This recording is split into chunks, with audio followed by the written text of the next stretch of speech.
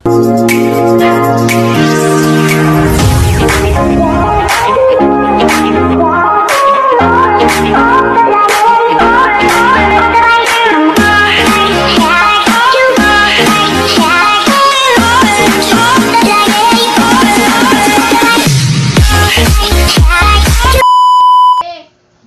umuwi, galing ano, rides, ayan.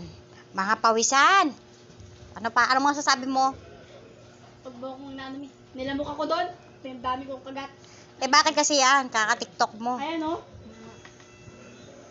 Basta wala ng ulam na ka, bili na ka ng itlog doon. Tapos pag uwi natin, itlog lang ang ulam. Ibubo kayo, yung tagal nyo eh. Nasarapan si daddy sa ulam. Ha? Dilata? Talagang sinisimot pa niya. oh. Naing, iniinggit kayo. Ang kanya, andox. Ay, hindi pala andox. na- Ano, Sir Pedyong. Sir an, er, Pedro. Senyor Pedro. Oh. Oh. Oh. Ang bot.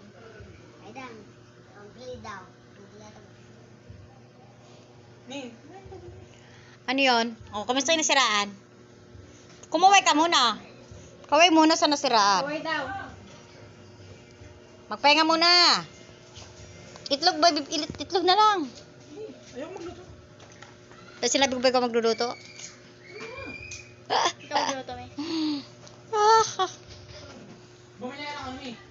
ano? Bagong. Hindi. So, hindi makapag-bike si Maymay bukas.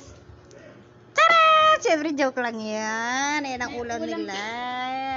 Ano joke, ba? Ano joke, likod mo? Ako joke. sa likod. Ay, ako na sa... Ayan, dahil palit-lit sila, ayan. Oh, ating kapatid. Walang maglalamangan.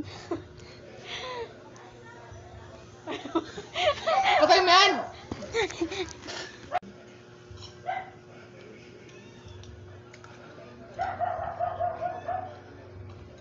Tingnan na.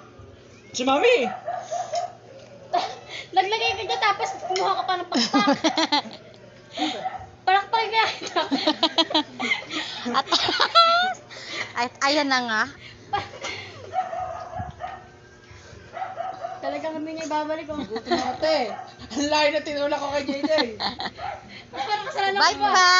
Yan. Napakabigat eh. Bike mo yung gamit eh.